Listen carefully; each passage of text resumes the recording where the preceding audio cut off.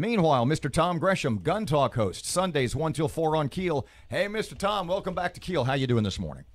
Morning, Robert. Tom, there's a couple of things I want to cover with you this morning, and both of them are mm-hmm. quite sobering.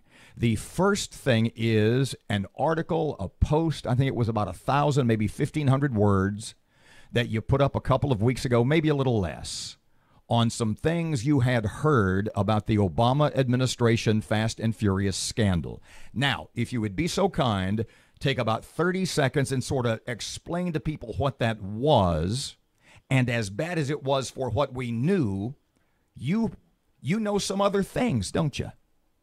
Yeah, absolutely. The uh, the short version of this, the Fast and Furious program under the Obama administration, was one to run guns to Mexican drug cartels. There was no attempt. It's often put out as a gun tracking program. There was never an attempt to track. There was never even a plan to track guns. The very idea, and it's all been documented now. This is not just me. This has been, covered a lot. The plan was the Obama administration could not get their gun control measures passed in Congress that they wanted. They needed something to jumpstart it. And they said, well, basically, if we can get a whole lot of guns from the U.S. being used to kill people in Mexico, and we'll recover them at the crime scenes, and then we'll track them back to the U.S., and then we can say, see, we need gun control here. And so they actually put that into effect. And actually, some of the ATF agents at the time said, hey, these guns are going to be used to kill people they're actually going to be used to kill law enforcement officers. And the response was, well, if you want to make an omelet, you have to break some eggs. In other words, in order to push our gun control agenda, we're okay with American law enforcement officers being murdered with these guns. That's exactly what ended up happening. Thousands of guns were run down to Mexico through the ATF, through the Obama administration. They forced American gun stores to sell these guns down there to the people who were going to run the guns down. They were used in murders. They were eventually used to kill two U.S. law enforcement officers, and that's when the whole thing blew up and they stopped the program.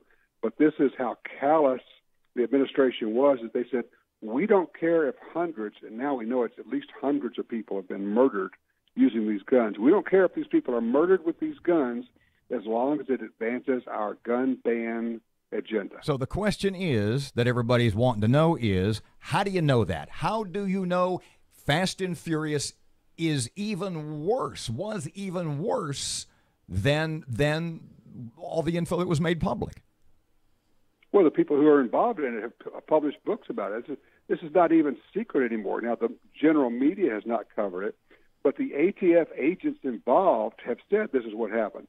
The ATF agents involved actually, some of them hated it so much, they created a website uh, about this, and they were all anonymous on there basically blowing the whistle on this. And then uh, James Dodson, who was one of the ATF agents, published a book on it as a whistleblower, and he's the one that kind of helped stop the whole thing. We have the inside information from the people who were there. There's, it's not even a question anymore that this happened. It just hasn't been covered by the media. But anybody that wants to find out about it could just go do a little searching on Amazon and find the books that the people involved have published on it. Tom, I actually saw an article, believe it or not, on CNN that reports one of the facts is that one of the guns linked to Fast and Furious actually turned up near the scene where Border Patrol agent Brian Terry was gunned down. I mean, so we actually have the death of somebody, a Border Patrol agent, tied to one of these guns.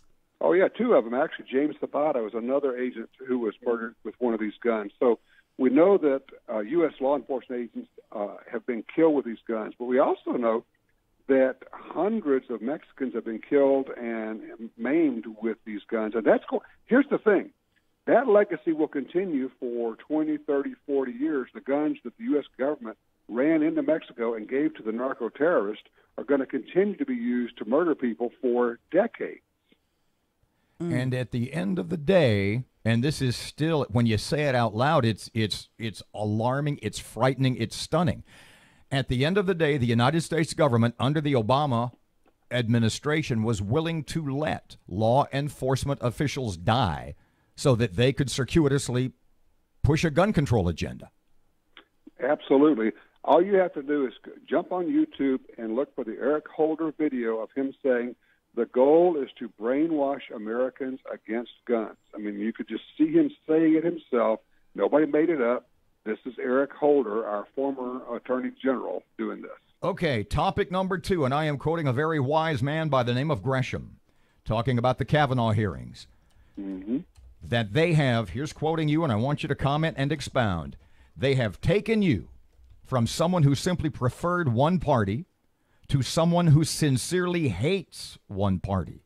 You, I say, I really don't like it, but the lying, dishonesty, and eagerness to destroy a good man in their maniacal scorched earth campaign for power has earned Democrats my lifetime animus. I asked you to expound on that. There's really not much more you can say than that, is there? What else can you say? What you have is a, and look, I get it that there are Democrats, uh, Democrat politicians who do not hold that view. Unfortunately, the reality where we are now is a vote for any Democrat is a vote to support Nancy Pelosi, Dianne Feinstein, and their scorched earth policy. They literally will do anything. I mean, go back to what we were just talking about. They literally will kill people for their political agenda. Literally will kill people for their political agenda. And so destroying a man and his family to advance their political agenda is really not much of a big deal to them. And it, it's almost become it, it's blood sport. It's like, oh heck, this is just what we do. We'll get up, we'll have some coffee, we'll destroy some lives, and we'll go about our business because that's what we do up here. I'm done with it, uh, and there's no possibility that for dog catcher, for any other level, that I will ever vote for a Democrat because eventually those people become higher and higher up and go to Congress and become Democrats who push the party line. And in this case, unfortunately, the part I, I can't even imagine ever doing what they're doing. I can't imagine the mindset that allows you to destroy somebody to say, well, I'm not going to vote for him, but we're going to have a, an investigation anyway. Well, what's the point of the investigation if you've already announced that you're going to vote against him? The deceit, the dishonesty, the vitriol, I'm just done with it. And How embarrassed never, were you watching I, I never, all that? I never thought I would get to this point, Erin. It just, yeah. it is, I just, I'm so disgusted with it.